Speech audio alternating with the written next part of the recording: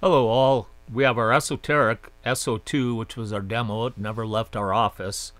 Uh, it's a Class AB power amp, 150 watts into 8 ohms, 290 watts into 4 ohms.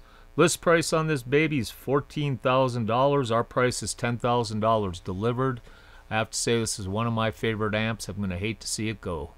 The S-02 is in virtually mint condition with the exception of a small scratch on the top which you will see here in this video.